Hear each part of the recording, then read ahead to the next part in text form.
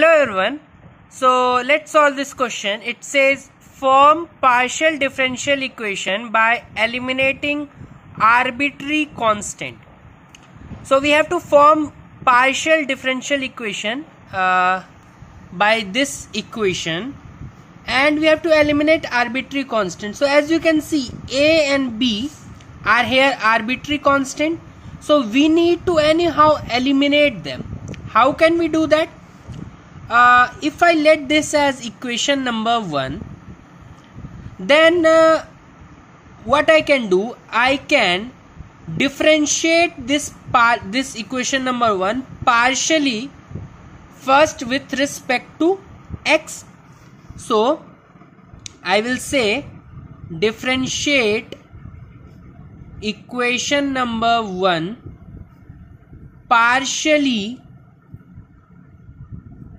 with respect to x. Now when I say I am differentiating it partially, I don't further need to write that taking y as a constant because that is understood. Uh, that whenever, whenever you are uh, differentiating partially with respect to x, y will obviously be treated as a constant. So this will be del z by del x equals to. Now because this is in product and I will have to uh, treat y as a constant and b is obviously a constant. So this will remain as it is. Okay. And in this bracket if you look at this uh, you can treat this thing uh, same as 2 times x. So x I have to differentiate out. For, uh, further you can say this 2 times x plus a so 2 will remain as it is. Same for y plus b. y plus b as it is.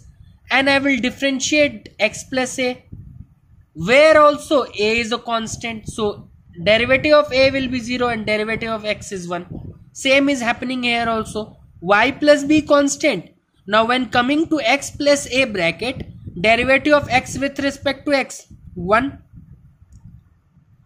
and derivative of a with respect to x a is anyway constant so that is going to be z. And uh, if you want you can replace del z by del x by p and del z by del y by q. Now it uh, depends completely on you if you want to replace this or not. You can uh, leave it in terms of del z by del x also. But uh, in some textbook you see this written as p so P equals to Y plus B. So this becomes your equation number 2. Similarly, I will do the same process but differently. Differentiate equation number 1 partially but this time with respect to y. So when I say with respect to y, I will treat x as a constant. So del z by del y will become. Now this will be treated as constant. So this will remain as it is. And when coming to this bracket derivative of y with respect to y that is 1 derivative of b anyway because that is a constant so its derivative is 0 del z by del y as I told you can replace that by q. So q equals to x plus a so this becomes your equation number 3 now you have got uh, two equations. Now as you can see you have x plus a in the initial equation which I can replace by q or del z by del y whichever you prefer. And I also have y plus b which can be replaced by p or del z by del x whichever you prefer. So if I say put equation